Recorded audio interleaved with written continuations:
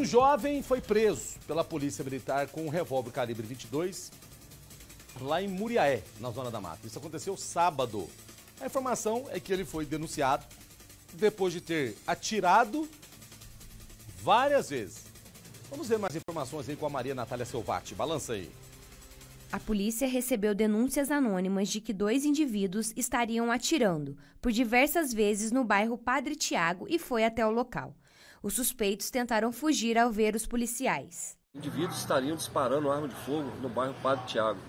De imediato, as nossas guarnições foram para o local, montamos uma operação no local e conseguimos lograr êxito na prisão de um desses autores, desses infratores, e conseguimos também é, tirar de circulação uma arma de fogo, um calibre 32 carregado, e essa arma já tinha é, efetuado um disparo de arma de fogo, tem um cartucho que não está intacto nela. E a gente conseguiu então lograr êxito e evitar um crime violento, um crime mais grave no local. O outro indivíduo não foi encontrado. A polícia militar apreendeu um revólver calibre 32 e munição do mesmo calibre. O material e o suspeito de 24 anos foram levados para a delegacia. Ainda de acordo com a polícia, o suspeito resistiu com agressividade à prisão. A informação é de que ninguém foi atingido pelos disparos e não se sabe a motivação dos tiros. O caso deve ser investigado. Muito bem, só corrigindo aqui, revólver calibre 32.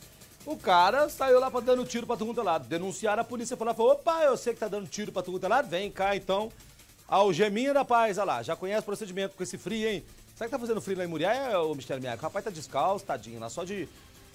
Lá também na Zona da Mata é frio, né? O rapaz tá descalço, só de shortinho, sem camisa, vai constipar, né? Podia deixar ele preso, dá aproveitar jogar um balde d'água nele, deixar a noite inteira.